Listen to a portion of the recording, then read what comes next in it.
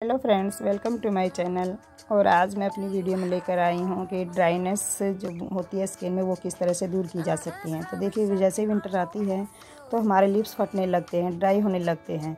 तो उसको हमें किस तरह से सॉफ्ट रखना चाहिए? तो छोटा सा एक उपाय है, आप कर सकते हैं।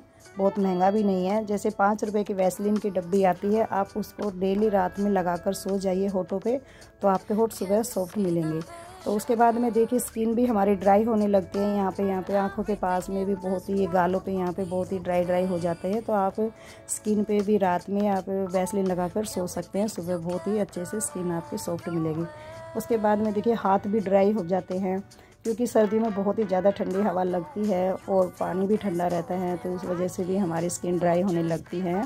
तो आप इसको वैसलिन को हाथों पे भी लगा सकते हैं तो उससे भी आपके हाथ सॉफ्ट हो जाएँगे। और देखिए, एड़ियाँ भी फटने लग जाती है, बहुत ही रफ हो जाती है तो उसमें भी आप अगर रात में एड़ियों को अच्छे से गर्म पानी में साफ़ धो कर के पोच के फिर वैसलिन लगाएँगे तो सुबह तक आपकी एडिया पूरी तरह से साफ़ और सॉफ्ट मिलेंगी।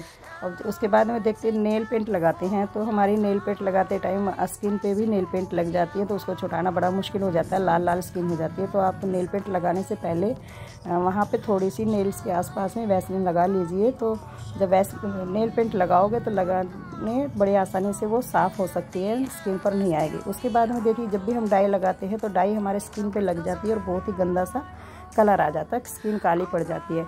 तो जब भी आप डाई लगाते हैं, उससे पहले आप अपने फेस के आसपास में वैसलिन लगा लीजिए और उसके बाद में डाई लगाएँगे तो डाई आपके स्किन पर नहीं आएगी।